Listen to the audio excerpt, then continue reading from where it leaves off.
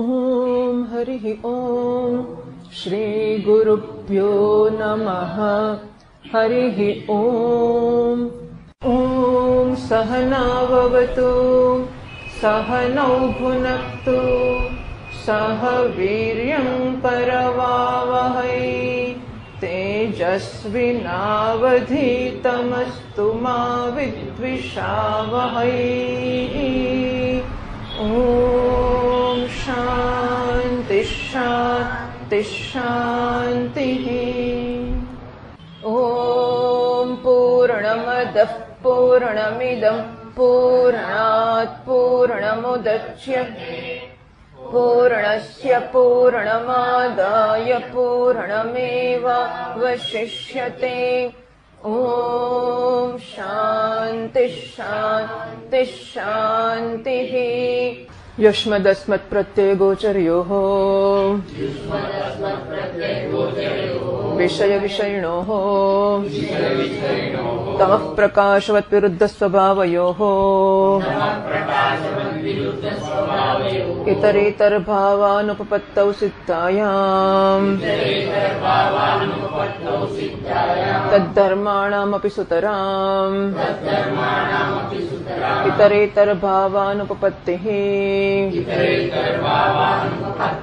इत्यतः अस्मत्प्रत्ययगोचरे विषयिणी चिदात्मके युष्मत्प्रत्ययगोचरस्य विषयस्य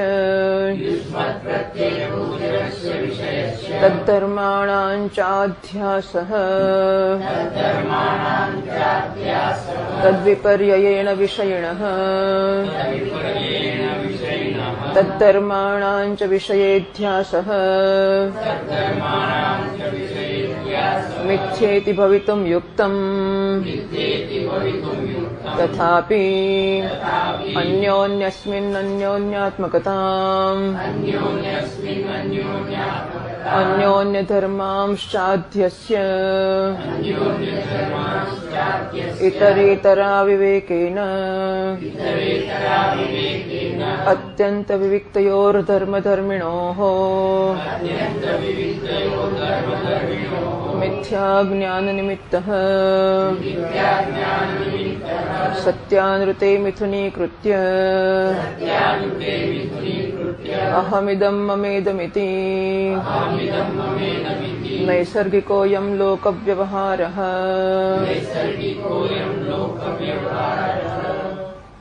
अथा तो ब्रह्मजिज्ञासा जन्माद्यस्य यतः। शास्त्रयोनित्वात् तत्तु समन्वयात्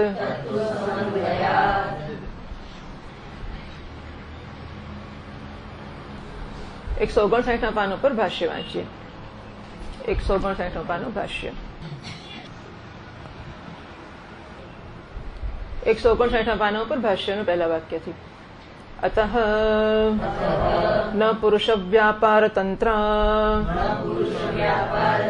બ્રહ્મ વિદ્યા કિમ તર્હિ પ્રત્યક્ષાદિ પ્રમાણ વિષય વસ્તુ જ્ઞાનવત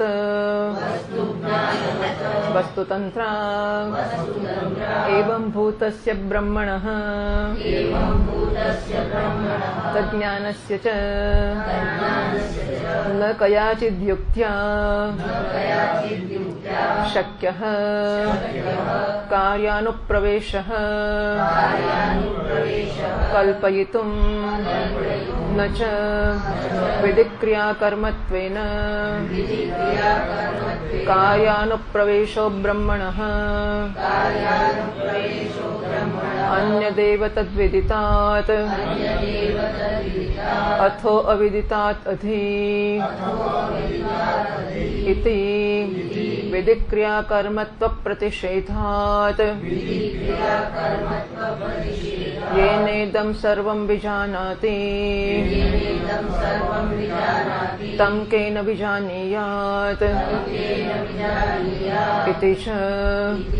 तथा उपास्तिक्रियाकर्मत्व प्रतिषेधोऽपि भवति। यद्वाचानभ्युदितम्। येन वागभ्युद्यते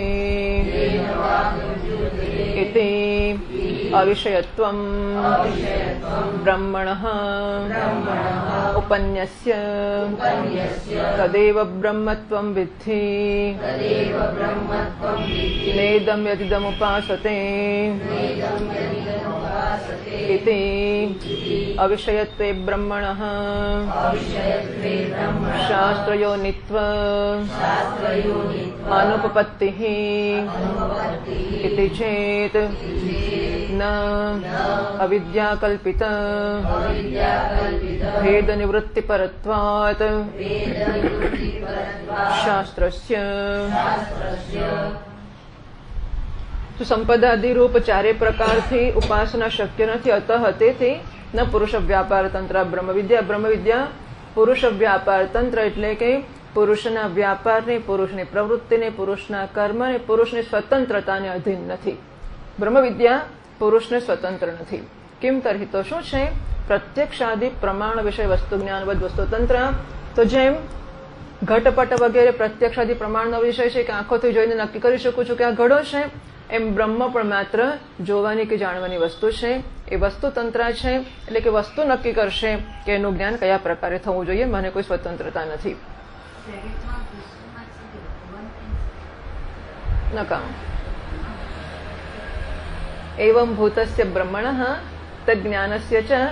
આવો જે બ્રહ્મ છે તે અને એનું જ્ઞાન, એ બંને ન કયા યુક્ત્યા શક્ય કાર્યનો પ્રવેશ કલ્પયતો બ્રહ્મનો અને બ્રહ્મના જ્ઞાનનો કોઈ પણ પ્રકારે કાર્યમાં પ્રવેશ કરાવવો શક્ય નથી. ન જે વિધિ ક્રિયા કર્મત્વેન કાર્યનો પ્રવેશ બ્રહ્મણ. તો એમ પૂછો કે પણ બ્રહ્મનું જ્ઞાન તો પ્રાપ્ત કરવાનું જ છે ને?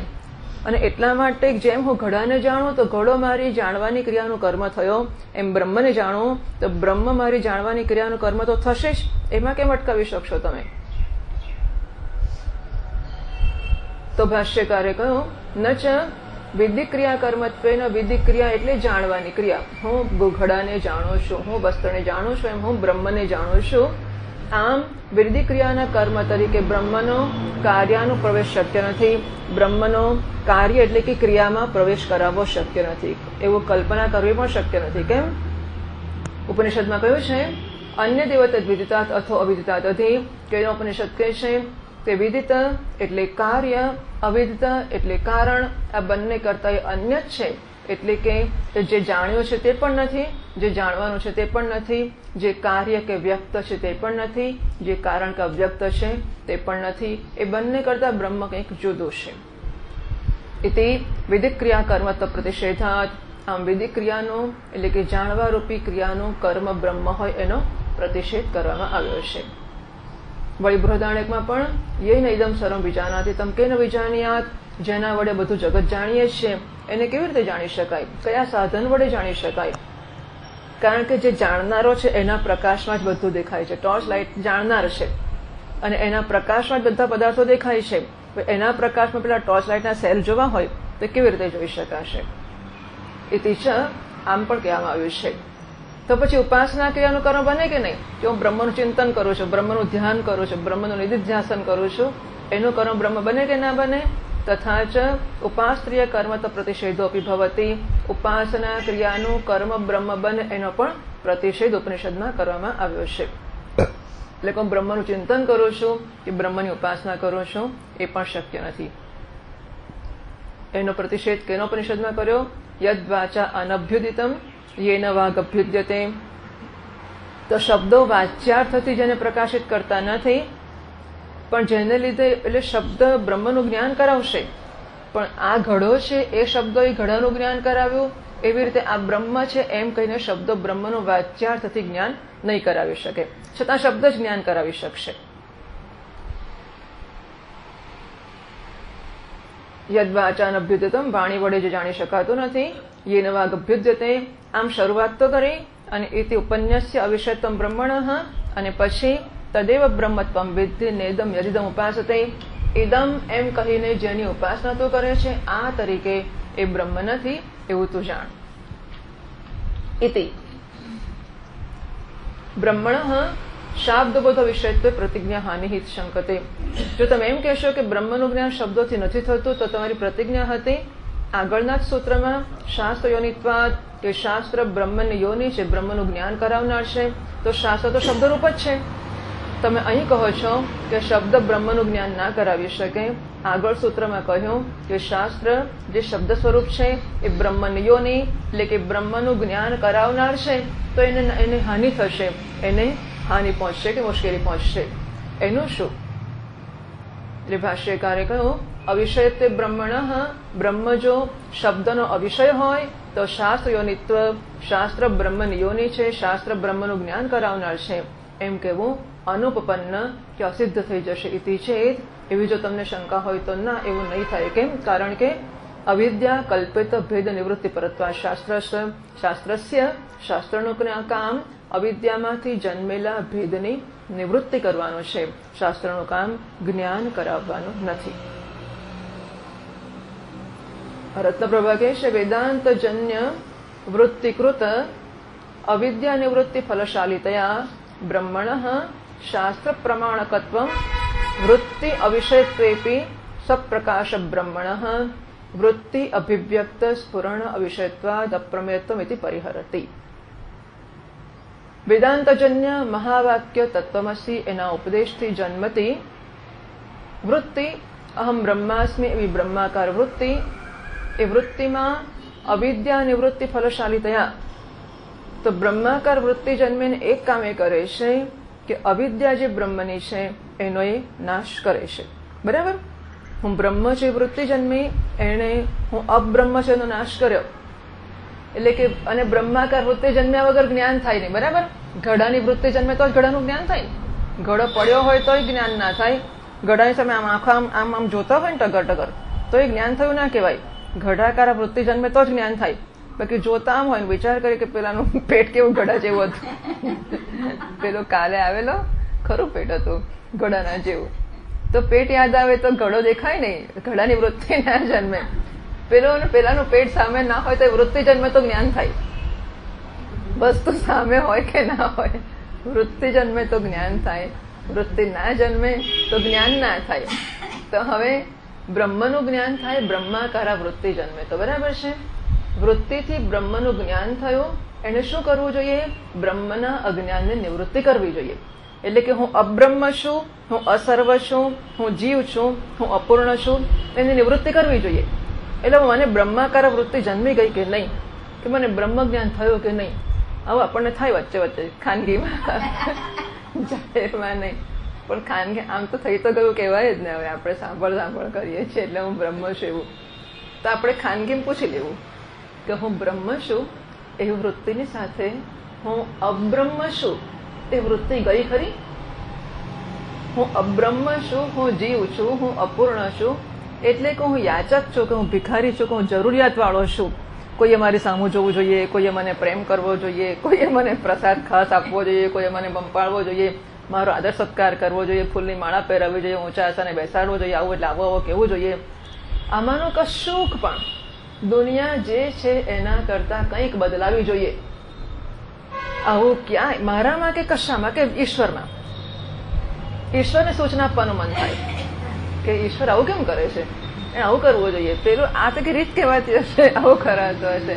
આટલો મોડો મોડે તો વરસાદ પડ્યો પાડો ધમ ધમ ધમ પાડી જ નાખે. બધું નુકસાન નુકસાન. વ્યવસ્થિત ના પડાય જ પાડવો એટલે આવો કેવો પાડે. એટલે આવી ઈશ્વરને સૂચના આપવાનું મન થાય. બીજું કરીએ શું? આ બધી નવરાશ જ બતાવે છે. ચારે બાજુ સૂચના આપવાનું મન થાય ને. એનો અર્થ આપણે નવરા પડી ગયા છે એટલે આપણે પહેલા તો આના પછીનો પગથિયો ડિપ્રેશન આવશે. જો આપણે આપણી સૂચનાઓ લોકો નહીં જ નહીં જ માને, કારણ કે એમને પણ સૂચના આપવાની છે આપણને. એટલે એટલે બધાને એમ થાય કે બધાને બદલાવવું જોઈએ. એટલે બધા સૂચના આપવા માંગે છે. અને કોઈ જેટલો નવરો વધારે એટલી સૂચના વધારે આપે, હા? જેટલો નવરો વધારે એટલે એને સૂચનાઓ વધારે નીકળે અંદરથી. વાંધા સૂચના એટલે વાંધા વચકા. એટલે આ વાંધા વચકા જેટલા થયા કરે ને, પછી કોઈ ના જ માને આપણા વાંધા વચકા. એટલે પછીના તબક્કામાં ડિપ્રેશન આવવા મળે એટલે સમજી લો ડિપ્રેશન એ નવરા, નવરો બેઠો નખો જ વાળે જે કહ્યું ને. ત્યારે નખો આપણને, એ નખો દવ નથી આવડે, આપણને ડિપ્રેશન આવડે છે. આપણે ડિપ્રેશન કહીએ છીએ, પણ નવરાશની જ પેદાશ હોય છે બધી. એટલે એટલે આ વાંધાવચકા વિરોધો, ફરિયાદો, આ બધી વસ્તુઓ જતી રહી. બ્રહ્માકાર વૃત્તિ, કારણ કે ઓળખાય કેવી રીતે બ્રહ્માકાર વૃત્તિ જન્મે? તો ઘડાની વૃત્તિ જન્મે એટલે ઘડાનું અજ્ઞાન ના રહ્યું. એવી રીતે બ્રહ્માકાર વૃત્તિ જન્મે ત્યારે કહેવાય, જ્યારે બ્રહ્મનું અજ્ઞાન ના રહે. બ્રહ્મનું અજ્ઞાન એટલે મારું અજ્ઞાન.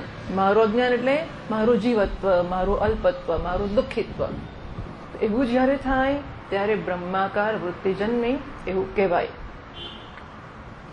એટલે કે છે કે વેદાંતજન્ય મહાવાક્યથી જન્મતી વૃત્તિ એટલે બ્રહ્માકાર વૃત્તિ એનાથી અવિદ્યા નિવૃત્તિ ફલશાલી થયા.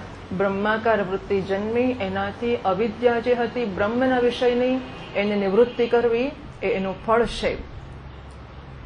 બ્રહ્મણ શાસ્ત્ર પ્રમાણકત્વ બ્રહ્મ શાસ્ત્ર જેનું પ્રમાણ છે તેવું છે. વૃત્તિ અવિષયત્વેપી ભલે એ વૃત્તિનો વિષય થતો નથી, પરંતુ બ્રહ્મનું જ્ઞાન છે, એ બ્રહ્મના વિષયના અજ્ઞાનને દૂર કરે છે. એટલે એટલે વૃત્તિનો વિષય છે એવું કહેવાને માટેની બે શરતો કહી કે એક તો જે વૃત્તિ જન્મે એ વૃત્તિના ગર્ભમાં એ વસ્તુ કે વિષય હોય, જેમ કે વૃત્તિ જન્મી ઘડાના આકારની, તો વૃત્તિએ ઘડાનો આકાર ધારણ કર્યો છે. આપણે એમ કહીશું કે વૃત્તિનો વિષય ઘટ છે જ્ઞાનનો વિષય ઘટ છે અથવા તો, અથવા અને બંને. ઘડા વગેરેની બાબતમાં બંને થાય છે કે વૃત્તિનો વિષય પણ બને છે અને પછી ઘડાના અજ્ઞાનની નિવૃત્તિ પણ થાય છે. અત્યાર સુધી પૂછપૂછ કરો કે આ કઈ જાતની વસ્તુ છે? આવું કેવું? આમ નીચે આટલું આમતું અને વચ્ચે આટલું મોટું. પડી જવાય ને બેલેન્સ રાખવા માટે પાયો મોટો હોવો જોઈએ. હવે આવો રાખે એટલે બિચારા ઘડાને કેટલી તકલીફ. ગમે ત્યારે પડી જાય, કોઈ આમ કરે તો પડી જાય. એના કરતાં જરા સરખું બનાવ્યું હોત તો. આ શું કહેવાય? હવે મને બહુ મુશ્કેલી હતી આના વિશે. અને શું કરવાનું? અહીં કેમ મુક્તા છે? એવું થાય તો ખરું જ ને. કે આ વેદાંતના પ્રવચનમાં આટલી ગંભીર વસ્તુમાં આવો એક માટીનો ઘડો? આ કઈ જાતની વસ્તુ છે? માટીનું વસ્તુ. આટલું નાનું પાછું? આટલું આમ તો બધાને પાણી આપવાનું હશે? આનાથી શું કરવાનું હશે? તો પાણી તો ભર્યું નથી આની અંદર. એટલે ચિંતા થાય ને. એટલે પછી મને શું કહેવામાં આવ્યું. આ ઘડો છે. ઓહો, આ ઘડો છે. શેને માટે છે? કે ડેમોન્સ્ટ્રેશન માટે, આમ બતાવવા માટે. કે શું માટીમાંથી ઘડો કેવો બન્યો છે? માટી ઉપાદાન કારણ છે? અને કુંભાર નિમિત્ત કારણ છે. આવું સમજાવવાને માટે આ વેદાંતના પ્રવચન કરનારાઓ એક ઘડો રાખતા હોય છે. બરાબર? ઓ આઈ સી હવે આ મને સમજ પડી, પછી આવતીકાલે આ ઘડા વિશે મુશ્કેલી પડે કે ના પડે? બરાબર? ઘડાનું જ્ઞાન ક્યારે થયું કહેવાય? ઘડાના ધીમો કરીએ તો ઘડાનું જ્ઞાન અથવા તો ઘડો એ જ્ઞાન જ્ઞાનનો વિષય છે. એવું ક્યારે કહેવાય? એક તો ઘડાના આકારે વૃત્તિ જન્મે ત્યારે, બીજું એનું જ્ઞાન થવાથી આના અજ્ઞાનની નિવૃત્તિ થાય. એટલે જ્ઞાનનો લાભ આને મળ્યો ને? મને જે જ્ઞાન થયું, એનો લાભ ઘડાને મળ્યો કે ઘડાનું અજ્ઞાન દૂર થઈ ગયું. બરાબર? એવી રીતે બ્રહ્મનું જ્ઞાન થયું કે બ્રહ્મની વૃત્તિ જન્મી, કે બ્રહ્મ વૃત્તિનો વિષય બન્યો, એ ક્યારે કહેવાય? એક તો એ વૃત્તિ બ્રહ્મના આકારની બની હોય, એક વસ્તુ. અથવા તો બીજું બ્રહ્મ એ જે અજ્ઞાનની નિવૃત્તિ થઈ, વૃત્તિ જન્મવાથી એ અજ્ઞાન નિવૃત્તિ રૂપી ફળનો લાભ એ વસ્તુને મળ્યો હોય કે એ વસ્તુનું અજ્ઞાન દૂર થઈ ગયું હોય. તો પણ કહેવાય કે એ વસ્તુ જ્ઞાનનો વિષય બને. બંને હોય તો પણ કહેવાય, બંનેમાંથી એક હોય તો પણ કહેવાય. એટલે એમણે કીધું, વૃત્ય વિષય બ્રહ્મ વૃત્તિનો વિષય બનતું નથી. છતાં પણ સપ્રકાશ બ્રહ્મણ બ્રહ્મ સપ્રકાશ છે આથી વૃત્તિ અભિવ્યક્ત સ્ફુરણ અવિષયત્વાત વૃત્તિમાં અભિવ્યક્ત થતા સ્ફુરણનો એટલે કે ફળનો કે ચિદાભાસનો એ વિષય બનતું નથી અપ્રમેયત્વમિતિ પરિહરતી માટે એ અર્થમાં એને કહેવામાં આવે છે કે અપ્રમેય છે તો ભાષ્યકારે કહ્યું ન અવિદ્યા કલ્પિત ભેદ નિવૃત્તિ પરત્વા શાસ્ત્રસ્ય શાસ્ત્ર તો અવિદ્યાથી કલ્પેલા જે ભેદ છે એની નિવૃત્તિ કરવાને માટે ભરેલું છે પરત્વાત એટલે ફલત્વાત. આ એનું ફળ છે, હા? શાસ્ત્રોનું ફળ કયું છે? અવિદ્યામાંથી જન્મેલા ભેદની નિવૃત્તિ કરવી. એટલે અવિદ્યાની નિવૃત્તિ થઈ કે નહીં કેવી રીતે ખબર પડે કે ભેદની નિવૃત્તિ થઈ ગઈ? બ્રહ્મનું જ્ઞાન થયું કે નહીં કેવી રીતે ખબર પડે? અવિદ્યા નિવૃત્ત થઈ. અવિદ્યા નિવૃત્તિ થઈ ખબર કેવી રીતે પડે? ભેદના જ્ઞાનની નિવૃત્તિ થઈ. ભેદનું જ્ઞાન એટલે કાલે કહ્યું કે મારી સામે કે ચારે બાજુ અરીસા જ અરીસા રાખેલા છે. બધા અરીસામાં બધા દેવદત્તો દેખાતા હોય, એ દેવદત્તો વિશે મારે એમાં પ્રેમ કરવો કે ત્યાગ કરવો, આ દેવદત્ત બહુ સરસ છે. પેલો હાવ નકામો છે. પેલો તો તૂટલો છે. આવું એકે દેવદત્ત વિશે કોઈ રિએક્શન પ્રેમ, રાગ અને દ્વેષ કે ગ્રાહ્ય અને ત્યાજ્ય એવું હોય કે ના હોય? હું દેવદત્ત છું. મારી આજુબાજુ અરીસાઓ છે. બધા અરીસામાં દેવદત્ત દેખાઈશ. એ બધા દેવદત્તો માટે મને આ ગમે છે. પેલો ગમતો નથી. આ મારો છે, આ તારો છે. આ સરસ છે આ હાવ નકામા છે. એવું થાય કે ના થાય? થાય કે ના થાય? કરી જવું પડે નહીં? કરી જવું પડે સુધી હા હી ડઝન્ટ ફોલો એવું બેટા તને? તાર ધ્યાનમાં. એટલે કરી જ જવું. કરી જ કરી જવું પડે તો તો પછી. હવે જ્યારે મને જ્ઞાન થાય તો એ અઘરું છે કે એ બધું લાવી લાવું કે કેમ કઈ રીતે એને સાથે હું સ્વીકાર હા, એનો સ્વીકાર. અત્યારે તો આપણે આ તબક્કે વાત કરીએ છીએ કે અરીસાઓની અંદર દેવદત્તો દેખાતા હોય એમના માટે ગ્રાહ્ય કે ત્યાજ્ય હોય કે ના હોય? અરીસા સરખા છે. અરીસા સરખા ના હોય. અને અરીસા તૂટેલા ફૂટેલા અને ગમે તેવા હોય. ભલા માણસ એ તો હું કલાકથી પૂછું છું.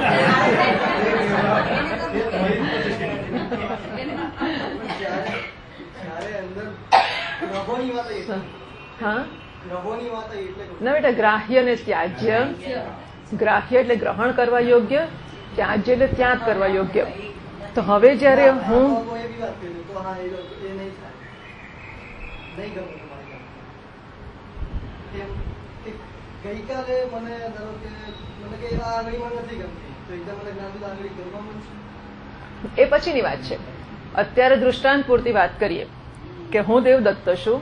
મારી આસપાસ અનંત અરીસાઓ છે. એ બધા અરીસાઓમાં ભલે ને એક તૂટેલો છે, એક કોન્કેવ છે, એક કોન્વેક્સ છે, એકમાં હું જાડો દેખાવું છું, એકમાં લાંબો. ગમે તે દેખાતો હોઉં ને, ગમે તે હોય. એઝ ફાર એઝ અરીસાનો વિષય છે, ત્યાં સુધી મને એટલું જ્ઞાન જોઈએ જે બાળકોને નથી હોતું. પણ હું મેચ્યોર છું. એટલે મને એટલું જ્ઞાન છે કે અરીસામાં દેખાય છે પ્રતિબિંબ છે. એ મિથ્યા છે. એ મારા ઉપર કોઈ પ્રકારનો પ્રભાવ પાડવા સમર્થ નથી. એમાં ઊંચો થયો માટે હું ઊંચો નથી થઈ જવાનો. એમાં હું જાડોને બટકો દેખાઉં તો હું જાડોને બટકો નથી થવાનો. રિગાર્ડલેસ એ જે છે ને જેવું છે, હું તો મારા, મારી વિભૂતિમાં, મારા મહિમામાં મસ્ત છું. આટલું મને જ્યાં સુધી જ્ઞાન છે ત્યાં સુધી અરીસાઓ જુદા જુદા પણ હોય, એમાં દેખાતા દેવદત્તો અનેક પ્રકારના હોય અને સારા ખોટા પણ હોય. તોય મારામાં, જે હું મેચ્યોર છું, પ્રતિબિંબના વિષયમાં, એના મનમાં એના વિશે ગ્રાહ્ય અને ત્યાજ્ય, એટલે ગ્રહણ કરવા યોગ્ય અને ત્યાગ કરવા યોગ્ય, રાગનો વિષય કે દ્વેષનો વિષય, એવું બને ખરું? અથવા બનવું યોગ્ય છે ખરું કે નહીં?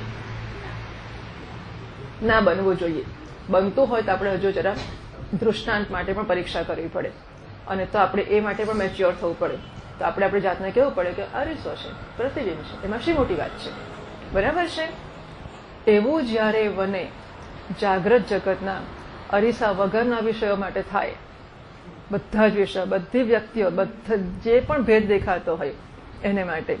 એમણે કહ્યું, સો અવિદ્યા કલ્પિત ભેદ નિવૃત્તિ પરત્વાદ, ભેદ અનુવૃત્તિ ફલત્વાદ અવિદ્યા નિવૃત્તિનું ફળ, ભેદની નિવૃત્તિ છે.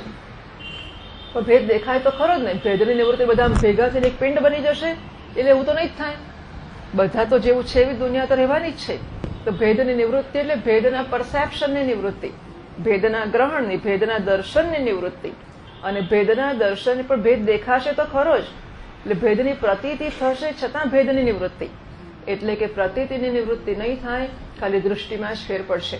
The way I look at it I interpret the thing મારું જે પ્રકારનું દર્શન છે, મારી જે પ્રકારની સમજ છે, મારું જે પ્રકારનું ઇન્ટરપ્રિટેશન અર્થઘટન છે, મારો જે પ્રકારનો સંબંધ બાંધવાનો છે, એની જોડે જ ફેર થશે. અને જેટલા અને આ વસ્તુઓ ચમત્કારથી નથી થતી કંઈક કાને સાંભળવા કે કશાથી નથી થતી. હવે મને ખબર પડી કે આ પડછાયો છે, પહેલા, અથવા પ્રતિબિંબ છે. પહેલા હું એને સત્ય માનતો હતો. હવે મને ખબર પડી કે આ પ્રતિબિંબ છે. તો પછી મને એ મારા ઉપર પ્રભાવ જન્માવે છે તો પણ મારે કહેવું જોઈએ કે ના, ખોટું છે. આ પ્રતિબિંબ શું કામ બીએ છે? જેમ મારી મા મને કહેતી કે બેટા, ના બીશ. આ તો ખોટું છે. આ તો કાચ છે. એના પર હાથ ફેરવાવે આપણને. કે જો અહીં દેખાય છે માણસ, કોઈ જગ્યાએ તને લાગે છે કે કશુંક છે? જો તું આમ જોતો રહે. દેખાય છે? કશું નથી. તો સામે આવે છે, દેખાય છે. બરાબર? અનેક રીતે સમજાવવું પડે આપણી માયા આપણને. આ બધી રીતે સમજાવ્યા પછી મારા મગજમાં ઉતરી જાય. ફરી કાલ સવારે ભૂલી જવું. ફરી મારી સો લાઈન મૂકે. આવું તો અનંતવાર કરવું પડે એને જેટલા આપણે મજબૂત હોઈએ એના પર આધાર છે. કે માએ આપણી અરીસો લાઈને રોજ મૂકીને રોજ બતાવવું પડે. રોજ મૂકીને રોજ બતાવવું પડે. અને મા એટલે કર્યા જ કરે. કોઈ દળ થાકે જ નહીં. અરીસો અરીસો લાવી લાવીને મૂક્યા જ કરે, મૂક્યા જ કરે, મૂક્યા જ કરે. અને જે દાડે મને નિશ્ચય થાય એકવાર, પછી અરીસા હજાર વાર મૂકે. કે રોજ મૂકે કે ગમે ત્યાં હું બહાર જઉં નરીસાઓ હોય મને તકલીફ પડે ખરી? તો મને તકલીફ પડતી હતી ગઈકાલ સુધી. અને મહેનત કરીને મને સમજાવવામાં આવ્યું. અને મેં પણ એની એની મહેનતનો સ્વીકાર કરવા માટે ગંભીર પ્રયત્ન કર્યો. એ ગમે તે કહે અને હું કહું કે એ તો કે. તો એની એકલી મહેનત ના ફળે મારો પૂરેપૂરો સહકાર જોઈએ. વિદ્યાર્થીના સહકાર વગર શિક્ષક કશું જ કરી ના શકે. આખરે ઘોડાનું મોઢું પાણી બોળ્યા પછી ઘોડાને લઈ જઈએ, પકડી પકડી, પકડીને તળાવે અને તળાવ જેટલું ઊભો રહે આમ કરે એ પછી મોઢું પાછું નીચું કરીએ. તો આમ કરીને ઊભો રહે. પછી બોળી આપીએ પાણીમાં. પછી મહી નાખીને ઊભો રહે. પછી શું કરો? પછી મોઢું ખોલીને પાણી રમે. પછી પછી ઉડાઈ દેવો પડે એટલે એટલે આપણા સહકાર વગર તો કશું જ ના. બિચારો શિક્ષક અહીંયા આ આ મોટી જાતે કરવાનો સહેલી વસ્તુ છે. એકવાર અઘરું હોય તો જાતે કરવાનું તો maybe one can do. પણ કરાવવાનો, તમારે પચાસ માણસમાં નાટક કરાવવા પ્રવેશ કરવાનો. નાટક જાતે કરવું એ સહેલી વસ્તુ છે. પચાસમાં પ્રવેશ કરવાનો.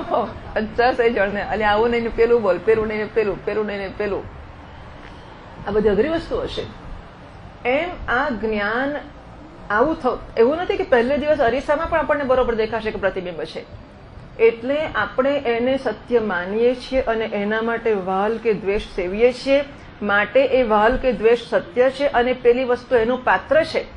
રાગો કે દ્વેષનો, એ રાગનો વિષય છે અને દ્વેષનો વિષય છે એવું નથી. એ ના હોય તે છતાં હું રાગ દ્વેષ સેવી શકું. ચકલી અરીસાની સામે બાબત ચકલીઓ જતી રહી.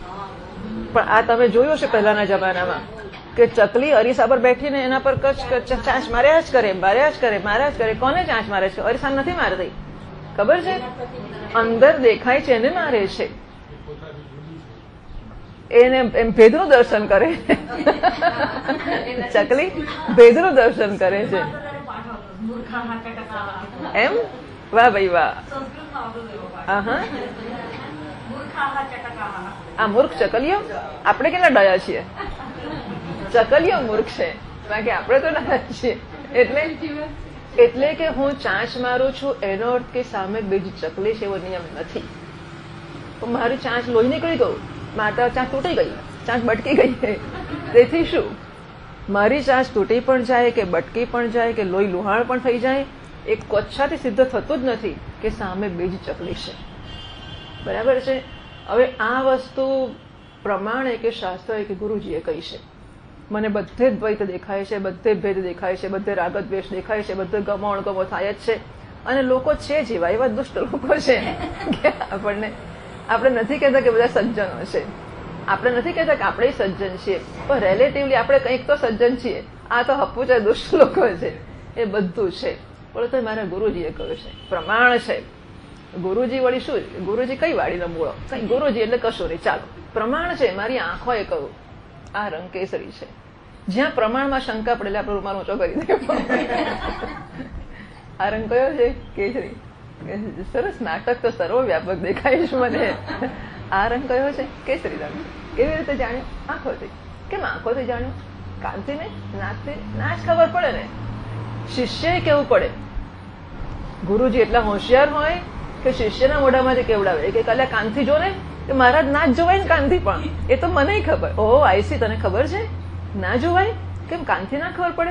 નાકથી ખબર પડે કે ના પડે? ના પડે મહારાજ, આંખથી જ ખબર પડે. કેમ? આંખ પ્રમાણ છે એટલા માટે. ઓહો, એવી રીતે શાસ્ત્ર પ્રમાણ છે. શેને માટે? દ્વૈતનું દર્શન, પ્રતીતિ જે થાય છે, એમાં અદ્વૈતનું દર્શન કરવા માટે શાસ્ત્ર પ્રમાણ છે. મને લાગણી જન્મતી હોય કાલ સુધી, તો શું કરવાનું? પ્રમાણ છે. મને એટલો પ્રેમ ને પીળા રંગ માટે. હું તને પીળો જ કહું, પીળો જ કહું, પીળો જ કહું. આજે મારી આંખોએ કહ્યું કે આ કેસરી છે. પછી શું કરું? પીળો છોડી દઉં? કે ના છોડી દઉં? આ પ્રમાણ નામની વસ્તુની સામે કશી ગઈકાલ ટકતી જ નથી. કોઈ ભાવના, કોઈ લાગણી, કશું મૂર્ખતા સિવાય કશું ટકી ના શકે. પ્રમાણ શબ્દ વાપર્યા પછી, પ્રમાણ શબ્દ વાપર્યા પછી મૂઢ મતે ગોવિંદમ ભજ, મૂઢ મતે મૂઢ મતે, આ મૂઢમતી સિવાય કશું પ્રમાણની સામે ટકી ના શકે, હા? બીજું તો શું કહેવાય આપણાથી? જો ટકતું હોય તો. સો ફલ, ભેદ, નિવૃત્તિ, પરત્વાત, કલ્પિત, ભેદ, નિવૃત્તિ, પરત્વાત.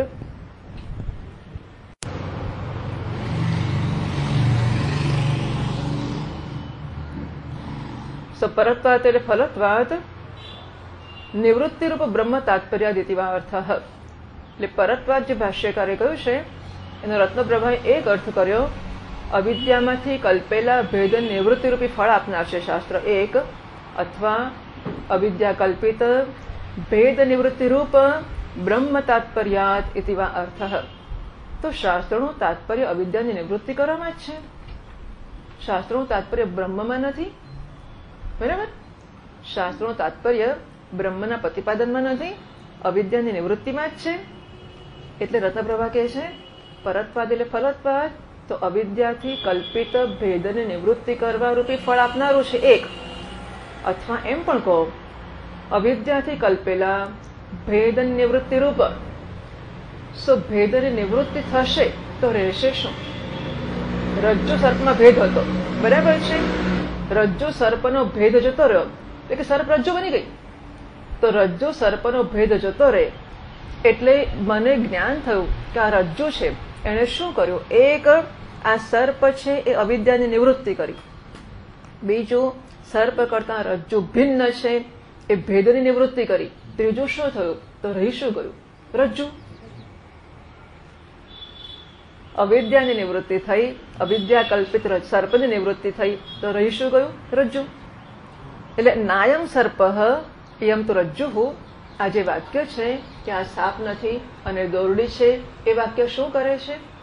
એનું ફળ કયું છે કે સાપનો નાશ કરવાનો? કહી શકાય. સાપ અને રજ્જુના ભેદનો નાશ કરવાનો? કહી શકાય.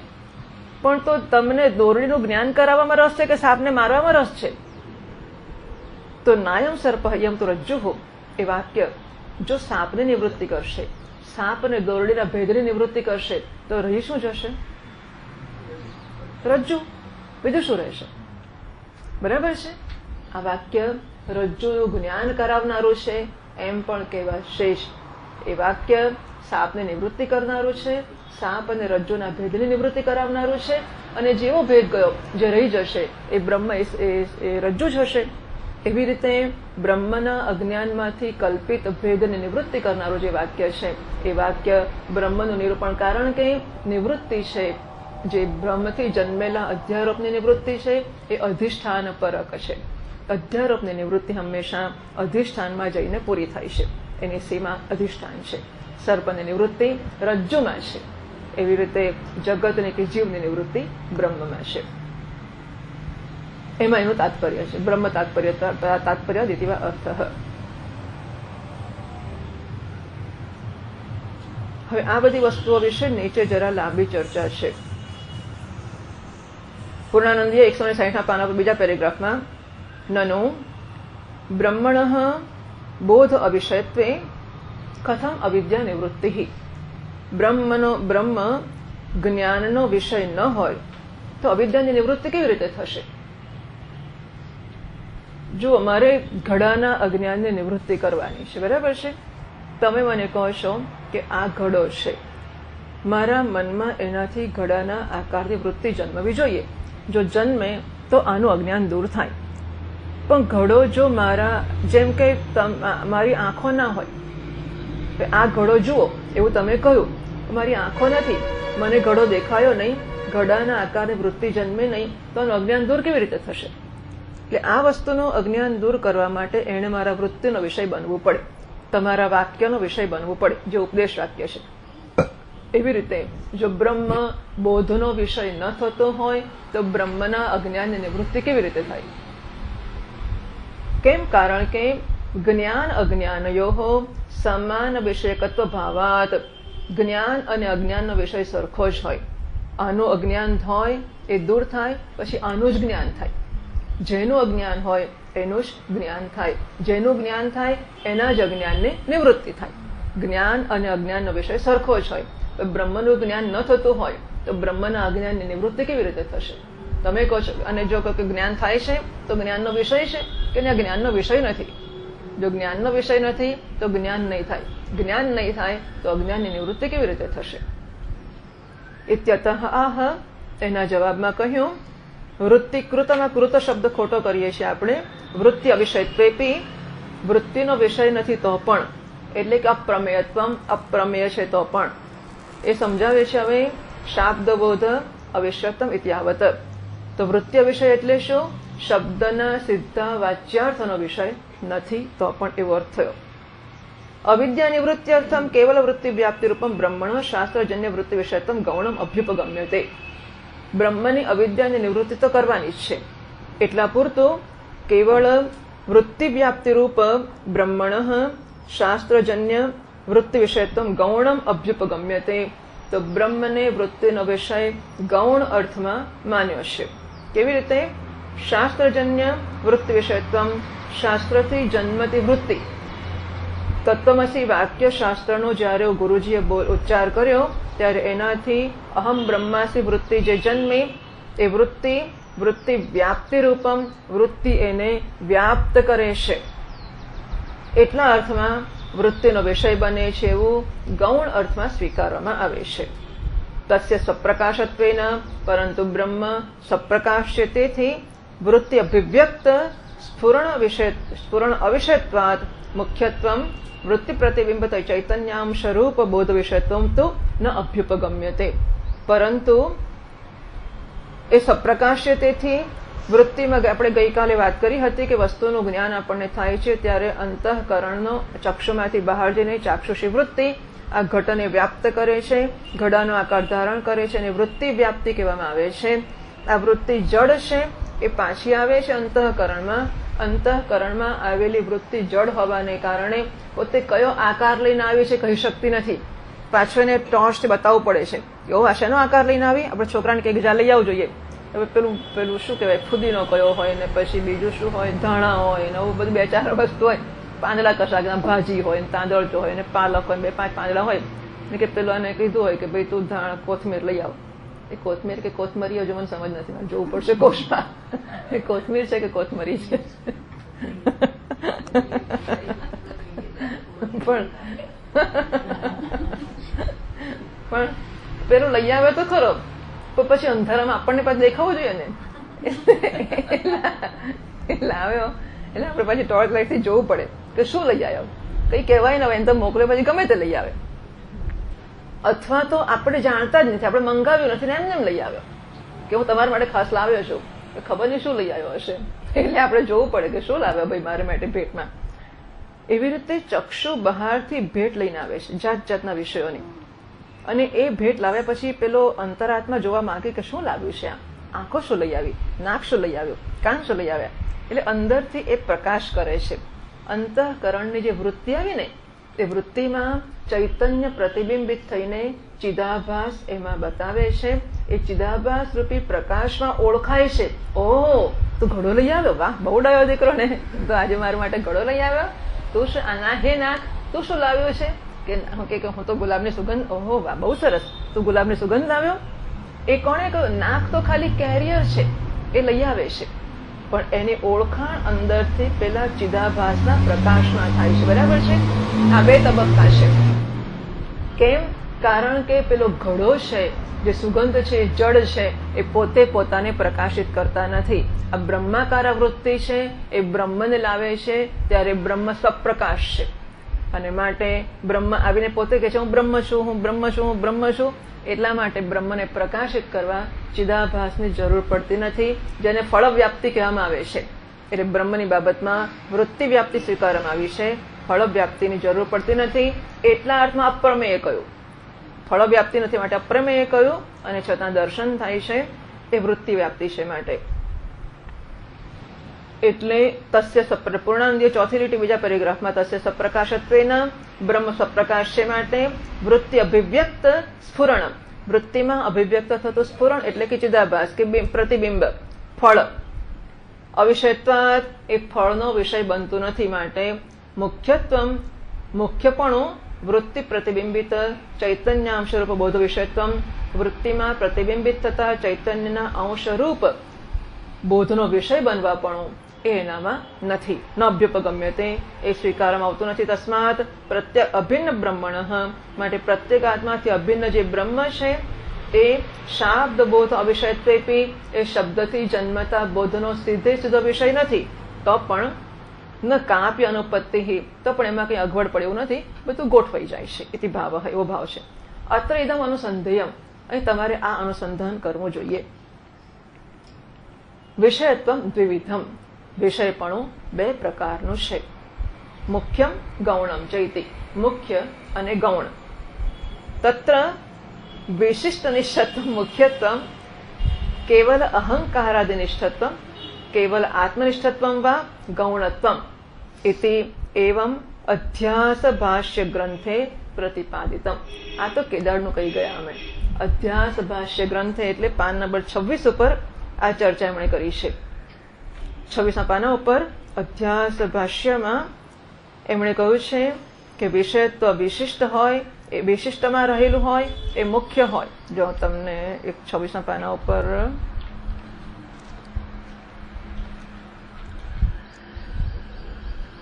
આખું ભણી જઈએ પછી એમ થાય કે આખું એકવાર વાંચી કાઢ જોઈએ નહીં.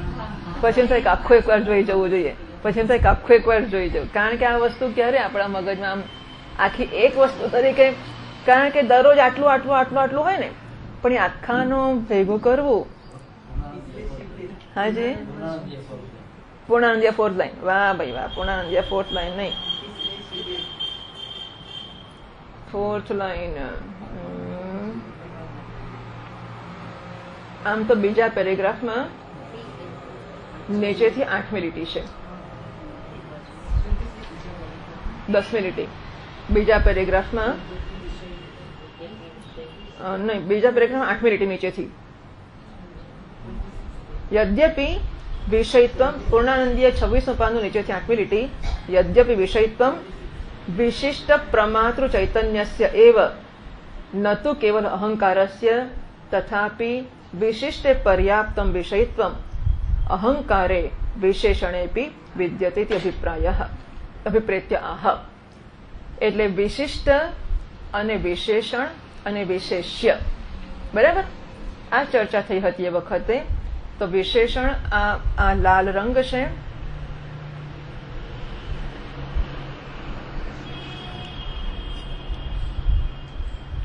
આ સ્ફટિક એ વિશેષ્ય છે. વિશેષ્ય એટલે ટુ બી ક્વોલિફાઈડ જેને આપણે વિશેષણ વાળું કરવાનું છે. આ વિશેષણ છે એટલે ક્વોલિફિકેશન અને આ આના પછી જે લાલ સ્ફટિક દેખાય, કેસરી સ્ફટિક દેખાય, એ વિશિષ્ટ છે. બરાબર? આ વિશેષ્ય છે, આ વિશેષણ છે અને કેસરી સ્ફટિક વિશિષ્ટ છે. ખરું? આ ત્રણ વસ્તુઓ છે. તો એવી રીતે આત્મા છે એને વિશેષ્ય કહેવામાં આવ્યો છે, અહંકારને વિશેષણ કહેવામાં આવ્યો છે અને જીવાત્મા છે એને જે અહંકાર અને ચૈતન્ય બંનેનું જોડાણ છે એને વિશિષ્ટ કહેવામાં આવે છે. વિશેષણ, વિશેષ્ય અને વિશિષ્ટ. એટલે વિષય, વિષયપણું કોનામાં છે મુખ્યત્વે? તો એ પેલો જે વિશિષ્ટ છે ને, આત્મા અને અહંકારનું જોડાણ, એ વિશિષ્ટ છે, એ મુખ્ય અર્થમાં વૃત્તિનો કે જ્ઞાનનો વિષય બને છે. હું હું કહીને જેની વાત કરીએ છીએ, હું કહીને જેને ઓળખીએ છીએ કોણ છે? તો કે અહંકાર અહંકાર એકલો જળ છે. અને ચેતન એકલું ચેતન છે. એ નિર્વિકાર, નિરાકાર છે. આ બંનેનું વિષયીકરણ થઈ શકતું નથી. એટલે જે વિષય બને છે, એ ચેતન અને જળની ગ્રંથિ, જેને અહંકાર કહીએ છીએ, એ વિશિષ્ટ છે. એ જ હંમેશા અહમ પ્રત્યયનો વિષય બને છે. બરાબર છે? આ વિશિષ્ટ, વિશેષ્ય અને વિશેષણ. એની વાત આપણે એકસો ને સાઠ પાના ઉપર કરે છે પૂર્ણાનંદીયમાં તત્ર વિશિષ્ટ નિષ્ઠત્વ મુખ્યત્વ વિશિષ્ટમાં રહેલું જે વિષયપણું છે એ મુખ્ય છે. વિશિષ્ટ એટલે જીવ. તો જીવમાં રહેલું વિષયપણું મુખ્ય છે. કેવળ અહંકારમાં અહંકાર એટલે દેહ વગેરે બધું. આ શરીરમાં બધામાં અહમ બુદ્ધિ રહે છે આપણી. તો અહંકાર, દેહ વગેરે વિશેષણ છે. એમાં અથવા કેવળ આત્મા જે વિશેષ્ય છે, એમાં રહેલું વિષયત્વ છે એ ગૌણ છે. એટલે કે સીધું આપણે આ કહીને એનો વિષયકરણ નથી કરી શકતા. આપણે વિશિષ્ટને જ ઓળખીએ છીએ. નર્યા આત્માને કે નર્યા દેહને આપણે નથી ઓળખી શકતા. એટલે એમાં મુખ્ય અર્થમાં નથી રહેલું. એટલે વિશેષણ વિશિષ્ટ બંને, વિશેષ્ય બંનેને સાથે જોઈએ ત્યારે વિશિષ્ટ છે. અહંકાર જળ છે, તેથી, અને ચૈતન્ય ચેતન નિર્ગુણ છે, તેથી એ લોકો જાણી શકતા હું જાણું છું એમ જ્યારે કહું, ત્યારે કોણ જાણે? શરીર જાણે? ના જાણી શકે કારણ કે જળ છે. તો આત્મા જાણે? ના જાણે? કારણ કે આત્મા ચેતન છે. એટલા માટે હું જાણું છું એમ કહું, ત્યારે હું એટલે વિશિષ્ટ ચેતન છે એ જ જ્ઞાન પ્રાપ્ત કરી શકે છે. આ વસ્તુ અધ્યાસ ભાષ્ય ગ્રંથે પ્રતિપાદિતમ. સંભાવના ભાષ્ય ગ્રંથે તું આપણે અધ્યાસમાં પાંચ ભાષ્ય થયા હતા. નહીં? કયા કયા થયા હતા ખબર? પાંચ થયા હતા એ ખબર? અધ્યાસ ભાષ્ય કર્યું ને આપણે? તેમાં પાંચ પ્રકારના અધ્યાસ ભાષ્ય હતા. નહીં? કયા કયા હતા? લખેલું જ નહીં? વાહ ભાઈ વાહ લો ચોપડીમાં લખેલું છે. પૂરું છે તે બોલ્યું, એમાં કરી તે શી કારીગરી સાંભળેલું, બજાવે તો મારું કે તું શાણો છે. એટલે ચોપડીમાં જોઈને બોલ્યું શું કરવાનું? એટલે તો ખબર છે કે ચોપડીમાં લખેલું છે, પાંચ થયા હતા, કયા પાના પર છે, બોલો. એ ખબર તો નહોતી ને બધાને. તો સૌથી પહેલું અધ્યાસ આક્ષેપ ભાષ્ય હતું. પછી અધ્યાસ સમાધાન ભાષ્ય હતું પછી અધ્યાસ લક્ષણ ભાષ્ય હતું પછી અધ્યાસ સંભાવના આવી ગયું આ સંભાવના સમાધાન આવી ગયું સંભાવના ભાષ્ય અને પછી અધ્યાસ પ્રમાણ ભાષ્ય અધ્યાસના પહેલા એક જ પાનામાં પાંચ ભાષ્ય હતા બરાબર એમાંથી અહીં કહે છે અધ્યાસ સંભાવના ભાષ્ય ગ્રંથ હેતુ દેટ ઇઝ પૃષ્ઠ ઓગણપચાસ ઓગણપચાસના પાના ઉપર એટલે વિષયત્વ ત્રણ પ્રકારનો અત્યારે કહે છે એ લોકો. બે પ્રકારનો, મુખ્ય અને ગૌણ. એ એટલે બ્રહ્મનું વિષયત્વ ત્રણ પ્રકારે આ ગ્રંથમાં બતાવ્યું. પહેલું હતું આગળ ગયું તે. બીજું છે સંભાવના ગ્રંથમાં બતાવ્યું છે ઓગણપચાસના પાના ઉપર. એ રત્નપ્રભાની પહેલી અને બીજી લીટીમાં. રત્નપ્રભાની પહેલી બીજી લીટીમાં અધિષ્ઠાન આરોપ્યયો એકસ્મિન જ્ઞાને ભાસમાનત્વ માત્ર અધ્યાસ વ્યાપકત્વ તચ્ચ ભાન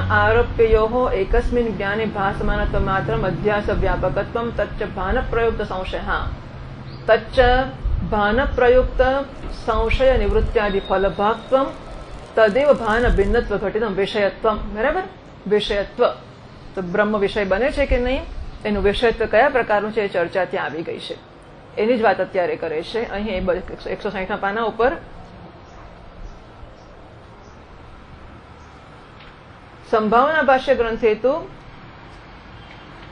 નહીં પણ તદેવ, થઈને બદલે દે કરવાનો છે. તદેવ ઉપપાદિતમ સંભાવના ભાષ્ય ગ્રંથમાં આ જ વસ્તુ કહેવામાં આવી છે. તથાહી જેમ કે, ભાસમાનત્વાખ્યમ વિષયત્વ દ્વિધમ. ભાસમાનત્વ નામનું વિષયત્વ છે, એ બે પ્રકારનું છે. ગૌણમ, મુખ્યમ છે ઇતિ. ગૌણ અને મુખ્ય. તત્ર ભાન પ્રયુક્ત ફલભાગ રૂપમ ગૌણત્વ ભાન ભિન્નત્વ વિશિષ્ટમ મુખ્યત્વ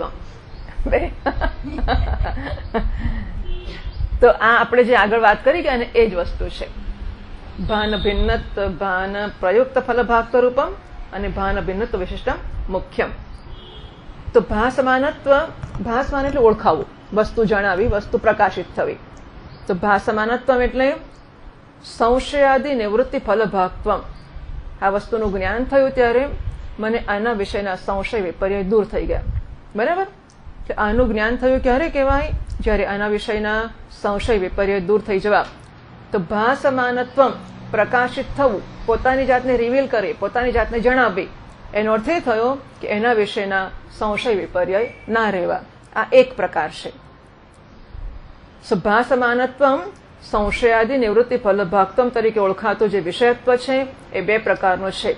મુખ્ય અને ગૌણ. ભાન એટલે શું? જ્ઞાન સ્વરૂપ આત્માના પરિણામ રૂપ. એટલે આપણે આત્માનું જે જ્ઞાન થયું, એ આત્માના, આત્માનો હોવા માત્રથી જ્ઞાન સ્વરૂપ જે આત્મા છે, એના ફળના ભાગે થવા પણ એ ગૌણ છે. એ સમજાવશે. તો ભાન એટલે આત્મા અભિન્નત્વે સતી.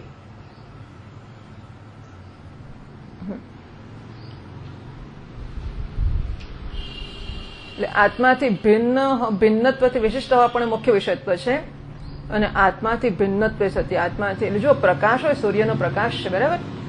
સૂર્યના પ્રકાશમાં આપણને ઘટપટનું જ્ઞાન થાય છે. તો સૂર્યનો પ્રકાશ આવ્યો અને આપણે ઓળખ્યું કે આ ઘડો છે. અંધારામાં દેખાતો નહોતો. પ્રકાશથી ખબર પડી કે આ ઘડો છે. તો શું થયું? ઘડાના વિષયના સંશય વિપર્ય દૂર થઈ ગયા. વિપર્ય એટલે વિપરીત. ઉલટી એના વિશે ગેરસમજ હતી, તે દૂર થઈ ગઈ. એ એનું ફળ મળ્યું. એ સૂર્યના પ્રકાશ કરતા ભિન્ન તરીકે ઘડાનું જ્ઞાન થયું. બરાબર? સૂર્યપ્રકાશથી ભિન્ન તરીકે ઘડાનું જ્ઞાન થયું. સાથે સાથે સૂર્યના પ્રકાશનું પણ જ્ઞાન થયું. મને અંધારામાં ઘડો નહોતો દેખાતો. અંધારામાં પ્રકાશ નહોતો દેખાતો. પ્રકાશ થયો એટલે ઘડો દેખાયો અને મને ખબર પડે એવો પ્રકાશ છે. તો પ્રકાશનું જ્ઞાન થયું, એ પ્રકાશથી અભિન્ન રીતે જ્ઞાન થયું. પ્રકાશને કારણે પ્રકાશનું પણ જ્ઞાન થયું, ઘટપટનું પણ જ્ઞાન થયું, પ્રકાશનું જ્ઞાન થયું એ પ્રકાશથી પ્રકાશના સોર્સથી અભિન્ન રીતે થયું. પદાર્થનું જ્ઞાન થયું એ પ્રકાશના સોર્સ કરતાં ભિન્ન તરીકે જ્ઞાન થયું. એવી રીતે આત્માની હાજરીમાં કે આત્માનું કે બ્રહ્મનું જ્ઞાન થાય છે, એક આત્માથી ભિન્ન તરીકે અને બીજું આત્માથી અભિન્ન તરીકે. વિષયનું જ્ઞાન થાય છે એ ભિન્ન તરીકે થાય છે. આત્માનું જ્ઞાન થાય છે એ અભિન્ન તરીકે ગાય છે. એટલે ભાન પ્રયુક્ત, એટલે ભેદ પ્રયુક્ત ભાન વિષયત્વ ભેદથી પ્રયુક્ત થતા ભાનનો વિષય થવા પણ. તો આ છે એ ભેદ પ્રયુક્ત ભાન વિષય છે. એટલે એટલે એટલે આત્માના પ્રકાશ કરતા આનું જુદા તરીકે જ્ઞાન થાય છે. માટે આમ ભેદ પ્રયુક્ત ભાનનો વિષય છે. પેલો ભેદથી અપ્રયુક્ત અથવા અભેદ પ્રયુક્ત ભાન વિષયત્વ એ પ્રકારનો ફેર કર્યો છે એમણે. ભાન એટલે પ્રકાશ, જ્ઞાન. ભાન એટલે જ્ઞાન. ઓળખાણ. સો ભાન પ્રયુક્ત ફલભાગ સ્વરૂપમ અને ભાન ભિન્નત્વ વિશિષ્ટમ મુખ્યમ. એટલે ભાનથી ભિન્ન હોય, જે આત્માના સ્વરૂપનું જ્ઞાન છે, એનાથી ભિન્ન તરીકે આનું જ્ઞાન થાય, તો આને મુખ્યાત્મ વિષય કહીએ છીએ. જ્યારે અભિન્ન તરીકે જ્ઞાન થતું હોય, એને ગૌણ અર્થમાં જ્ઞાન થયું કેમ? કારણ કે સંશય વિપર્ય ના રહ્યા. એટલે જ્ઞાન થયું તો કેવું પડશે? પણ ભિન્ન તરીકે ના થયું, એટલે મુખ્ય વિષય નહીં કહીએ, ગૌણ અર્થમાં વિષય કહીશું એમ. સો ઘટપટાદી બંનેમાં ઘટપટાદીમાં અને પ્રકાશમાં બંનેમાં સંશય વિપર્યની નિવૃત્તિ છે. ઘટમાં થાય છે, એ પ્રકાશ ભિન્નત્વે સતી થાય છે. જ્યારે પ્રકાશમાં થાય છે, પ્રકાશ અભિન્નત્વે સતી, સંશયાદી નિવૃત્તિ ફલભાગ સ્વરૂપમ ભાસમાનત્વમ વિષયત્વમ, ભાસમાનત્વાખ્યમ વિષયત્વમ છે. એટલે પંચદશી વગેરેમાં પણ આ વસ્તુ આવી ગઈ છે. આ બીજો પ્રકાર થયો. ત્રીજો પ્રકાર. અસ્યામ ફક્કી કાયમ અપી. એ અભ્યાસ ભાષ્યમાં તો કહ્યું જ હતું. સંભાવના ભાષ્યમાં એ કહ્યું હતું. આ ત્રીજો અસ્યામ ફક્કી કાયમ. આ જે પેરેગ્રાફ હમણાં આવ્યો. એમાં પણ વિષયતમ દ્વિધમ અહીં પણ વિષયત બે પ્રકારનો છે. ગૌણમ, મુખ્યમ ચૈતી. ગૌણ અને મુખ્ય. તત્ર વૃત્તિ વ્યાપ્તિ રૂપત્વમ ફલવ્યાપ્તિ ફલ વ્યાપ્તિ રૂપત્વમ ઇતિ આપણે ચર્ચા કરી કે વૃત્તિ વ્યાપ્તિનો વિષય બનતો હોય તો આપણે એને મુખ્ય કહીએ છીએ. એનો વિષય બનતો હોય તો મુખ્ય કહીએ છીએ ગૌણ, આમ સોરી આત્મા ગૌણ છે. એ વૃત્તિ વ્યાપ્તિનો વિષય માત્ર બને તો ગૌણ વિષય છે, ફલવ્યાપ્તિનો વિષય બને તો મુખ્ય ઘટપટાદી ફલવ્યાપ્તિનો વિષય બને છે.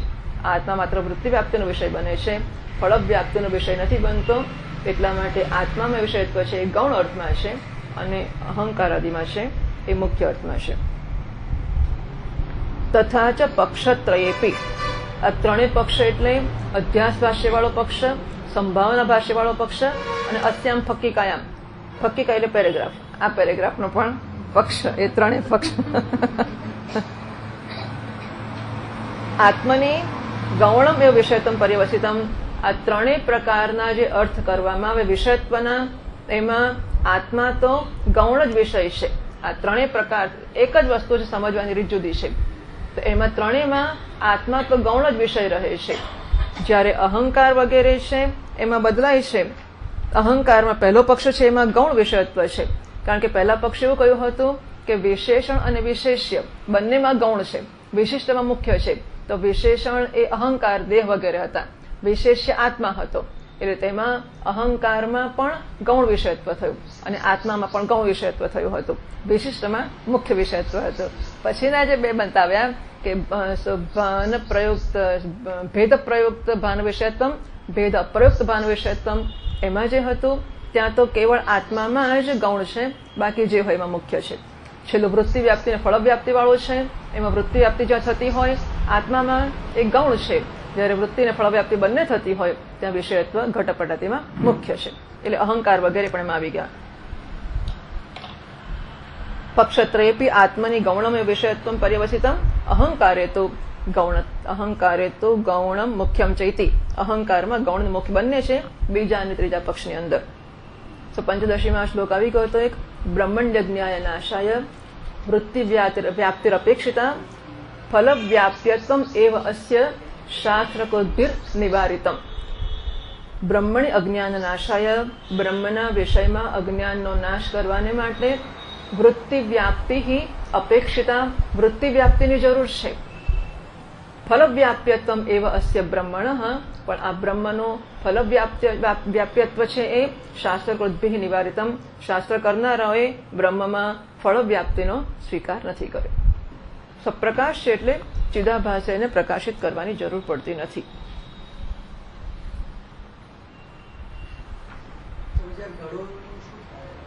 હાજી શું બેટા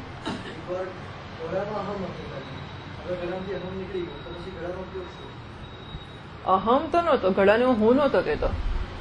અહમ એટલે હું કેવું? ઘડાને હું ઘડાને હું કહેતો હતો.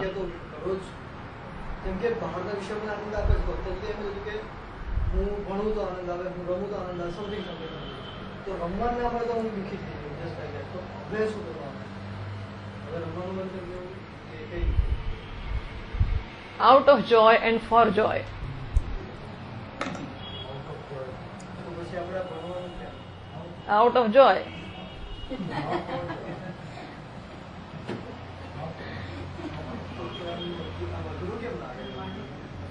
because I want to do for joy because I want to do for joy અઘરું લાગવાનું કારણ એટલું કે ફોર જોય કરવું છે અને આઉટ ઓફ જોય કરવાની સૂચના છે.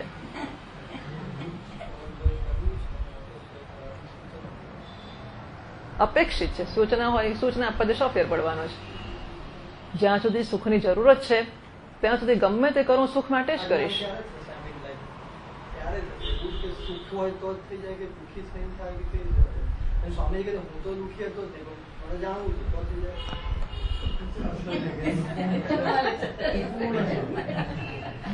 પ્રમાણ. રિયલ લાઈફમાં પછી બહાર નીકળીને તો બહુ ફ્રેન્ડ સાથે કઈ બી કઈ હવે આખી દુનિયાને મારે કેવું કે આ કેસરી છે પણ શું કરું? આંખો એ કહું કેસરી છે, અઘરું હોય કે સહેલું હોય? એને લેવા દેવા જ નથી અઘરા સહેલા જોડે. આંખો એ કહ્યું કે કેસરી છે એટલે મારે આ તો સ્વીકારવું જ પડે. તો આપણે ધારો કે એમ કહીએ કે ભાઈ મારી માં છે. મારી માં મને બહુ ગમે છે બરાબર છે? હવે મારી માં આ આપણે ખાલી દાખલા ખાતર કહીએ છીએ હા? એ સ્વાભાવિક છે કે મને મારી માં ગમતી જ હોય. પણ મારી માં કદરૂપી છે. અને પાછી કેસરી કપડાં પહેરે છે. ઠેકાણા વગરની જે છે તે છે. એ સંજોગોમાં દુનિયાની સામે કહેવાનું બહુ અઘરું લાગે. મને કહેવાનું ગમતું નથી કે અમારી માં છે. મુખ્ય તેના કરતા છોકરો એવો પ્રસંગ વધારે આવતો હોય છે. કે મા બાપને જાહેર કરવાનું ગમતું કે આ સાધુ છે ને મારો છોકરો છે. શરૂઆતમાં. પછી લોકો પગે લાગે ને પછી હોંશે હોંશે આવે. પણ શરૂઆતમાં જ્યારે બધા કે, આ તમારો છોકરો સાધુ થઈ ગયો છે? ગીતા ભણવા જઈશ કેમ અત્યારથી જઈશ શું થયું તું? એવું હોય? કકડાટ કરી. એટલે શું?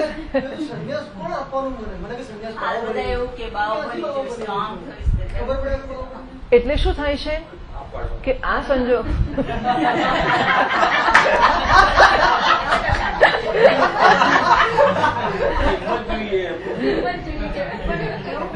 લેવો છે. લેવો છે સ્વામી, ખરેખર અમને લોકો આવું આપણે કહેવું એટલે શું થાય?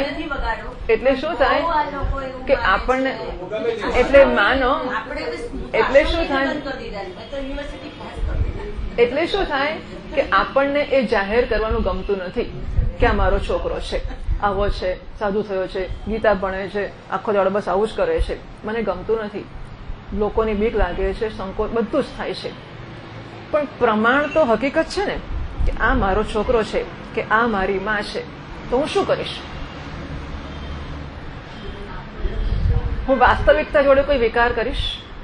મને પસંદગી જ નથી. I don't have a choice કે હું વાસ્તવિકતામાં કંઈ ફેરફાર હું વાસ્તવિકતામાં કોઈ ફેરફાર કરી શકું કે વાસ્તવિકતામાં કંઈક કરી શકું, રમત કરી શકું, વિકા- વિકૃતિ distortion there is nothing that I can do પ્રમાણ. મારી, આ મારી માં છે, એનું પ્રમાણ શું છે? એને ઠોકી બેસાડ્યું. એ, જે હોય તે પ્રમાણ. પ્રમાણ શું બીજું? જન્મ્યો જાય કે મમ્મી ક્યાં છે? આ રહી.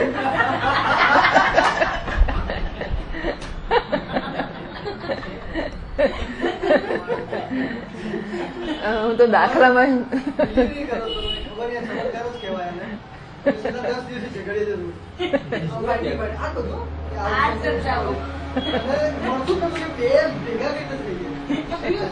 એને. ઠોકી બેસાડ્યું. એને જ ઠોકી બેસાડ્યું. બાકી એનું કોઈ પ્રમાણ જ નથી. આ મારી માં છે. એને માટે હવે આ આ ડોક્ટરો બેઠા છે. આપણે કઈ જાજો કેવું પ્રદર્શન? આપણા જ્ઞાનનું પ્રદર્શન ના કરાય આપણાથી પાંચ પચીસ છોકરા જન્મ્યા હોય એક વખતે અને પાંચ પચીસ છોકરા, હવે એમાંથી કયું લાઈન તમને આપ્યું છે ખબર કે કોનું છોકરું છે? નોટ ઇવન માને ખબર ના હોય, હા? ખરું એવું, હું સાચું કહું છું. માનો કે મોટી મેટર્નિટી હોસ્પિટલ હોય અને આમ એક બધાને એક જ મુહૂર્ત હોય, પાંચ પચીસ બાળકો જન્મ્યા હોય અને પછી બધાને આમ તેમ કે પ્રાથમિક ક્રિયાઓ જે કરતા હોય એ કરી હોય. અને પછી ગમે તે એક લાઈને આપણે પકડી પકડાઈ દે. કે આ તમારું છોકરું. હું આવી ગોરી ગોરીના કાર્યો મારો. છે જે કરવું એ કરો. અને પેલા છોકરાને કે, માં કહી બેટા, માં ક્યાં છે? માં ક્યાં છે? એટલે રહી માં રહી. એટલે, જુઓ this is how it works એ માં એને યાદ કરાવે છે, પોતાને યાદ કરાવે છે, ભગવાન જાણે. આ હું માં છું, હું માં છું. તો એ પોતાને પણ યાદ કરાવે છે, એને પણ યાદ કરાવે છે. એટલે આ તો ઠોકી જ બેસાડવાની વાત છે. એવી રીતે જો આપણામાં નિશ્ચય હોય કે આ મારી પ્રમાણથી, હવે એ પ્રમાણ આપણે કેવી રીતે ઓપરેટ કરીશું થયું ખબર નથી. પણ આપણે સમજીએ છીએ કે આ મારી માં છે, કે આ દીકરો છે, આ જ્ઞાન પ્રમાણથી જન્મેલું છે, બસ. પછી ગમે તે સંજોગોમાં આપણે એનો લોકોને ના ગમતું હોય કે લોકોની સામે વિરોધ કરવો પડે જે કંઈ કરવું પડે તે. પણ એ પ્રમાણથી જન્મેલું જ્ઞાન છે that can never be challenged. એને પડકારી શકાય. એટલે કોઈ પણ ભોગે, બહાર બીજું જે એના બદલામાં મારે આમ તેમ ઊંધું જતું, જે કરવું પડે તે કરું. પણ પ્રમાણથી જન્મેલું જ્ઞાન છે એમાં કશું કરી ના શકાય. આ પ્રમાણથી જન્મેલું જ્ઞાન છે કેસરી છે. બસ, પછી પ્રશ્ન નથી આવતો. એવી રીતે એકવાર પ્રમાણથી જ્ઞાન જન્મ્યું કે હું બ્રહ્મ છું, હું પૂર્ણ છું, મારે આનંદ મેળવવા માટે કશું કરવાની જરૂર નથી. અંદર તો બહુ ભિખારીપણું છે પણ, કે પેલા બધાને ચોકલેટ મળી, મને ના મળી. હું આનંદ છે પ્રમાણથી જ્ઞાન જન્મ્યું છે. ચોકલેટ ના મળી, દુઃખ થયું, એ મારો અત્યારનો વાસ્તવિકતાનો અનુભવ છે. પણ પ્રમાણજન્ય જ્ઞાન નથી. કયા પ્રમાણથી જોયું કે હું દુઃખી છું? આંખોથી જોયું કે હું દુઃખી છું નાકથી સૂંઘી જોયું દુઃખી જ લાગે છે એવું કર્યું કાને સાંભળી જોયું પ્રમાણ એટલે જ્ઞાન પ્રાપ્તિનું અબાધિતમ અને બધું આખું નાટક ગોખી નાખજે બેટા. બરાબર? આખું નાટક ગોખી નાખજે. અબાધિતમ, અનધિકતમ, ફલવત અર્થજનકમ પ્રમાણમ. આ વેદાંત વાળા ત્રીસ વર્ષે ભણશે ને એટલું નાટક વાળા ભણી જશે. બોલ જો નાટક સમજી નાખશે તો. મને અત્યારે સમજાય છે આ બધી વસ્તુઓ સાચું. લખ્યું ત્યારે ભાન નથી કે આપણે શું શું લખી નાખ્યું છે. પણ આઈ રિયલાઇઝ કે એટલું બધું અંદર ભર્યું છે જેની કંઈ કલ્પના જ ના કરી શકાય. પણ- હા. પછી બેટા. પણ અબાધિતમ અનધિકતમ ફલવત અર્થજનકમ પ્રમાણમ. આ પ્રમાણથી જન્મેલું જ્ઞાન છે. તો એવું કયું પ્રમાણ છે કહેનારું કે હું દુઃખી છું? મારે આનંદની જરૂર છે. કોઈએ મને પ્રેમ કરવો જોઈએ? કોઈએ મને સલામતી આપવી જોઈએ? કયા પ્રમાણે કહ્યું? હું અસલામત છે કયા પ્રમાણે કહ્યું? આંખ નાક કાને કહ્યું? શાસ્ત્રોએ કહ્યું? મા બાપનો રોલ ખરો થોડો. કે એમણે આપણને જો બેટા બહાર ના જઈશ? જો, પેલા ડોન્ટ ટ્રસ્ટ એનીબડી એ માએ શીખ્યું ડોન્ટ ટ્રસ્ટ એનીબડી વિદેશમાં. વગેરે. પણ એ બહુ દુર્બળ પ્રમાણ છે. એની સામે આ પ્રમાણ કહે છે કે આનંદ સ્વરૂપ છું. બસ ખલાસ. એટલે આનંદની પ્રાપ્તિ માટે મારે કશું કરવાનું હોય જ નહીં. There is nothing that I do for joy I do out of joy હું પ્રસન્ન છું. વાહ, ખુશ છું. કે નાટક પૈસા માટે કર્યું? પ્રતિષ્ઠા માટે કર્યું? વટ પાડવા કર્યું? શેને માટે કર્યું? બીજું કરવાનું શું હતું? નાટક જ્ઞાન પછી શું કરવાનું? નાટક કરવાનું. આમે નાટક, જ્ઞાની માણસ નાટક જ કરે કરે શું? ખબર પડી કે મિથ્યા છે, પછી શું કરવાનું? પછી નાટક કરવાનું. રાજવિદ્યા, રાજગુહ્યમ, પવિત્ર મહારાજ મહારાષ્ટ્રી કહે છે કે રાજગુહ્ય છે, પણ એટલે એટલે પછી જે વ્યવહાર પતિ પત્નીનો ચાલતોય ચાલે. હું જાહેર નહીં કરવાનું કોઈ નાટક કરું છું. લોકોને એકચ્યુઅલ લાગવું જોઈએ. જાહેર નહીં કરવાનું નાટક કરું છું. આપણે જાણીએ કે નાટક છે. એમાં હોય થોડું ગુસ્સે થઈ ગયો તોય શું? આમ થયું તોય શું? ખોટું લાગ્યું તોય શું? વાંકું પડ્યું. Not that we work for that એને માટે સાચું છે. મારે માટે નાટક છે. નાટકના એ નિયમો હોય પાછા. કે પેલો શંકરાચાર્ય ટાણીઓ કે હું તો મોટા વખત આવી જાઉં, તો ના અવાય એને આટલામાં જ આવવાનું. પછી કે હું તો શંકરાચાર્ય છું પણ. તો પેલા પછી કેમ ના આવું? મારે કેસરી કપડાં કેમ નહીં પહેરવાના? મારે દંડ કેમ દેવો? તો નાટકના એ નિયમ હોય પાછા. એટલે નાટકમાં નાટકના નિયમ પ્રમાણે ચાલવાનું. આપણને સત્ય કેમ લાગે છે જગત? એટલા માટે કે નિયમ પ્રમાણે ચાલે છે. નાટક પણ નિયમ પ્રમાણે જ ચાલે. અને તો પણ એ નાટક જ હોય. નિયમ પ્રમાણે ચાલે માટે સત્ય છે એવો નિયમ નથી. લોકોને ખુશ કરે માટે સત્ય છે એવો નિયમ નથી. લોકોને ઉપદેશ આપે નાટક માટે સત્ય છે એવો નિયમ નથી. લોકોને ધારો કે આપણે તો કમાવા માટે નથી કરતા, પણ એનાથી યશ કે પ્રતિષ્ઠા કે પૈસા મળતા હોય ને કમાવાનું સાધન હોય, માટે પણ સત્ય છે એવો નિયમ નથી. બરાબર છે? એક્ઝેક્ટલી સો જેવું એ નાટક આપણે ડેલિબરેટલી કર્યું, આ નાટક નારાયણે ડેલિબરેટલી કર્યું કે ચાલો જોઈએ તો ખરા, આટલા લોકોને આ બનાવી દઈએ આટલાને પેલા બનાવી દઈએ, પેલા પેલા બનાવી દઈએ. પણ જોઈએ, કેવી મજા આવશે? વાહ ભાઈ વાહ. ખરા, અમારા, અમારી? હા બેટા? અલોન? બહુ શ્યામ પ્રજા એ હતી વેદાંતિઓ પાસે બધા જવાબ છે. એમાં શું? એક જ માણસે વિચાર તો કરો કે ચાલો એક તુક્કો. નાટક કરીએ. કેવું? એકમાંથી જન્મ બધું.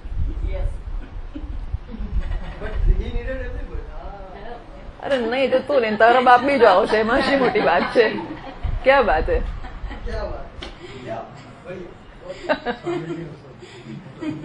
એવું? આમાં તો કઈ મોટી વસ્તુ જ નથી હોતી. આ નાટક એ ચાલવાનું છે એટલે ચાલશે. એવું? કે નારાયણનો સંકલ્પ છે. નારાયણના સંકલ્પમાં બધું બધું અંદર આવી જાય છે. સારું, ચાલો. ચાલુ બેટા આગળ. એટલે પ્રમાણ, આ બધા વિષયો પર બહુ જ ધ્યાન અપાવવું જોઈએ. પ્રમાણ છે. પ્રમાણ છે એટલે પ્રમાણની સામે કશાને ટકવા જ ના દઈએ. આનું વૈરાગ્ય. વિવેક, જે કહો તે. અક્કલ, હું તો વૈરાગ્ય કહેવાની જરૂર જોતી જ નથી. આપણે એવા વ્યવસ્થિત અક્કલ વાળા હોઈએ અને આપણે સમજતા હોય કે પ્રમાણ છે. જરા શંકા પડે એટલે પ્રમાણ.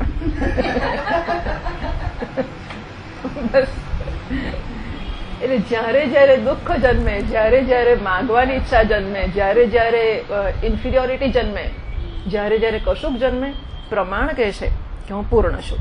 પ્રમાણ કહે છે હું આનંદ છું. હું તો આનંદ માગવા આવ્યો નથી, હું તો આનંદ વહેંચવા આવ્યો છું. ભરણ મન ના આપતા, લો હું તમને આપવા લાગીશ. મારા ભાગનું આપી દઈશ. હું તો આનંદ વહેંચવા આવ્યો છું. મારે ક્યાં આનંદ જોઈએ છે? બનત બનત બન જાય. આ બધી વસ્તુઓ ચમત્કારથી નહીં થાય. પ્રેક્ટિસ કરવી જ પડશે. અને ચોવીસ કલાક સતત પ્રેક્ટિસ કરવી પડશે. કે આનંદ મેળવવા નહીં, આનંદ આપવા આવ્યો છું. ભૂખ્યા નહીં મરીએ, એ નારાયણની જવાબદારી છે. એ ખવડાવશે. તો મારો તો ભાવ જ ના પૂછાય ને પછી. કઈ ના બોલાય. તો હોય કે બીજે જઈશું આપણે. આપણે કે આનંદ જોઈએ છે? આપવો જ છે ને આનંદ. આનંદ જોઈતો હોય તો ચિંતા, કઈ નહીં વળગી રહેવું. આનંદ આપવો જોઈએ તો લેનારા બહુ લોકો છે. માગવા માટે સ્પર્ધા છે. આપવામાં સ્પર્ધા નથી. સ્પર્ધા હોય સેવામાં કે આપવામાં તો સમજવું કે ત્યાં એ એ બધું કરપ્શન છે પછી. કરપ્શન એટલે અંચય. સ્પર્ધા જન્મે તો અંચય છે.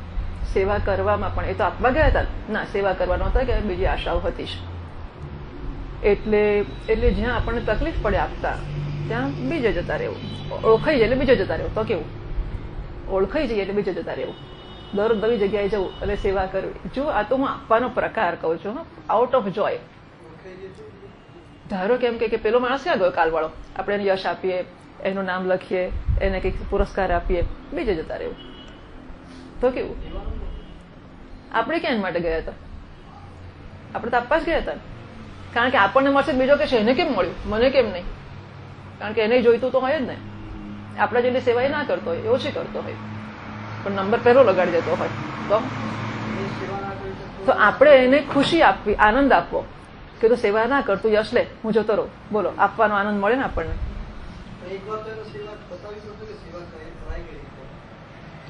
આપણે જતા રહેશે એટલે ખુશ થશે જ. નારાયણ શીખવશે. નારાયણ શીખવશે. માર ખાશે એટલે શીખશે. જે માર ખાશે, બહુ માગ માગ કરશે, માર ખાશે. એ શીખવાનો જ છે. આગળ તો ચાલો ભાઈ, તમે ક્યારના આ કર કર કરો છો? અહંકારે તો ગૌણમ મુખ્યમ ચૈતી. અભાવસ્ય અધિકરણ સ્વરૂપત્વમાં અથવા નિવૃત્તિ રૂપ રત્નપ્રભામાં જોયું આપણે? સો નિવૃત્તિ રૂપ એટલે અભાવસ્ય, જો છેલ્લું વાક્ય રત્નપ્રભાનું અહંકારે તો ગૌણમ પછીનું, એકસો એકસઠ પાના ઉપરનું પહેલું વાક્ય પૂર્ણાનંદીયમાં અભાવસ્ય અધિકરણ સ્વરૂપત્વ મત્વા આહ. અભાવ છે એ અધિકરણ સ્વરૂપ જ છે, એ માનીને કહ્યું, એટલે સર્પનો અભાવ એટલે શું? શૂન્ય? સર્પનો અભાવ એટલે દોરડી. સર્પનો અભાવ એટલે શૂન્ય નહીં. અભાવ છે અભાવરૂપ નથી. આપણે ત્યાં અભાવ ભાવરૂપ છે. વેદાંતમાં. તે સર્પનો અભાવ એટલે દોરડી. એવી રીતે જીવત્વનો અભાવ, ભેદનો અભાવ એટલે બ્રહ્મ. તસ્ય મતમ ઇત્યત્ર તશબ્દસ્ય વિભક્તિ વ્યત્યાસેન અન્વયમ આહ યસ્યા મતમ તસ્ય મતમ એ ભાષ્ય વાંચવાનું બાકી છે રત્નપ્રભામાં ઉત્તમ વિવરણોથી જે કહી ગયા એને સમજાવે છે નહીં ઇતિ હા ભાષ્ય એકસો સાઠના પાના ઉપર બીજી લીટીમાં નહીં શાસ્ત્રમ ઇદંતયા વિષયભૂતમ બ્રહ્મ પ્રતિપિપાદયિષતિ શાસ્ત્ર છે એ બ્રહ્મનું ઇદમ એટલે કે આ તરીકે પ્રતિપાદ પ્રતિપિપાદયિષતિ પ્રતિપાદયિતુમ ન ઈચ્છતિ ન પ્રતિપિપાદયિષતિ ન પ્રતિપાદયિતુમ ઈચ્છતિ શાસ્ત્ર બ્રહ્મનું ઇદમ તરીકે આ તરીકે પ્રતિપાદન કરવા ઈચ્છતું નથી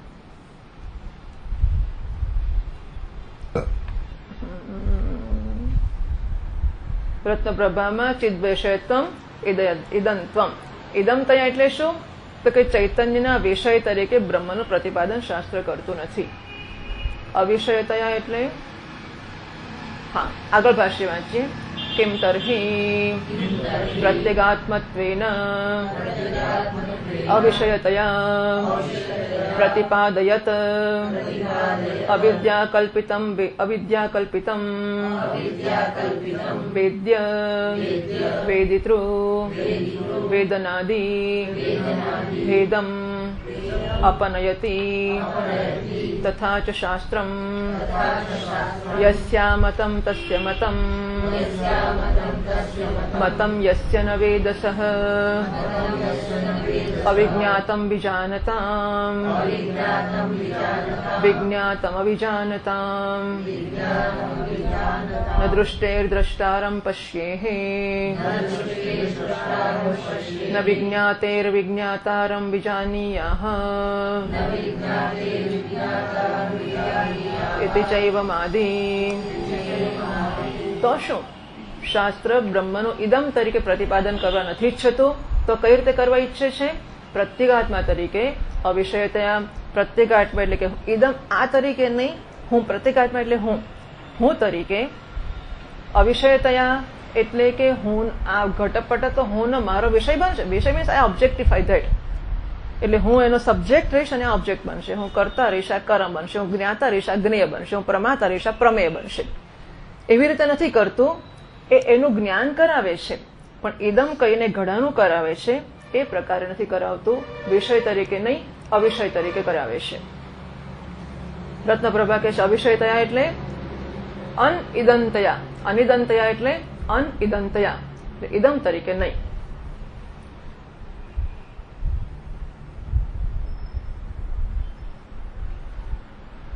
અદૃશ્યત્વે શ્રુતિમ આહ તથા ચ હા અદૃશ્ય એટલે ઈદમ નથી એમ દૃશ્ય એટલે ઈદમ અને અદૃશ્ય પાછું એકદમ આવી ગયું પણ ઈદમ એટલે દૃશ્ય અદૃશ્ય તરીકે એટલે કે અનિદમ તરીકે કહે છે એમાં શ્રુતિ ક્યાં છે તો શ્રુતિ કહી એમણે તથા ચ શાસ્ત્રમ તો ભાષ્યના વાક્યમાં હતું અવિષય ત્યાં પ્રતિપાદયત અવિદ્યા કલ્પિતમ વેદ્ય વેદિતૃ વેદનાદિ વેદ્ય એટલે જ્ઞેય, વેદિતૃ એટલે જ્ઞાતા કે વેદિતા અને વેદન એટલે જ્ઞાન, તો જ્ઞાતા, જ્ઞાન અને જ્ઞેય એવા ભેદોને અપનયન એટલે કે દૂર કરતું શાસ્ત્ર છે. એ અવિષય તરીકે પ્રત્યેગાત્માનું પ્રતિપાદન કરે છે. કયું શાસ્ત્ર છે? યસ્યા મતમ તસ્ય મતમ જેને માટે બ્રહ્મ અમત છે, તેને માટે મત. મત એટલે નોન, અમત એટલે અનનોન જેને માટે અનનોન છે, તેને માટે નોન છે. જેને માટે નોન છે, તેને માટે અનનોન છે. ગુજરાતી શબ્દ આપણને ઓછા આવડે છે ને, એટલા માટે હું અંગ્રેજી કહું છું. અમતમ ને મતમ એ ગુજરાતી છે, પણ હવે આપણને નથી આવડતું. અમતમ એટલે શું? અને મતમ એટલે શું? તો મત એટલે નોન અમત અનનોન હા? જાણવું, હા. એટલે જાણે પણ આપણે ગુજરાતી અઘરું છે. જણાયેલું જ્ઞાત અને અજ્ઞાત એમ. મત એટલે જ્ઞાત, અમત એટલે અજ્ઞાત. તો જણાયેલું આમ પેસી વોઇસ થઈ જાય છે ને એટલા માટે. જણાયેલું, ન જણાયેલું. હાજી? ના. નોન અને અન જે એમ માને છે કે બ્રહ્મને મેં જાણી લીધું છે, એ નથી જાણતો. જે જાણે છે કે નથી જાણ્યું, એ જાણે છે એમ. અહીંયા એવું નથી. અવિજ્ઞાતમ વિજાનતામ જાણનારાઓ માટે અવિજ્ઞાત છે અને વિજ્ઞાતમ અવિજાનતામ અવિજાન ન જાણનારાઓ માટે जणायलुषे ओम्। ॐ पूर्णमदः पूर्णमिदं पूर्णात् पूर्णमुदच्यते पूर्णस्य पूर्णमादाय पूर्णमेवावशिष्यते। ॐ शान्तिः शङ्करं शङ्कराचार्यम् केशवं बादरायणम् सूत्रभाष्यकृतौ वन्दे भगवन्तौ पुनः ईश्वरो गुरुरात्मेति मूर्तिभेदविभागिने व्योमवद्व्याप्तदेहाय दक्षिणामूर्तये नमः ओम शांति शांति शांति हरि ओम श्री गुरुभ्यो नमः हरि ओम।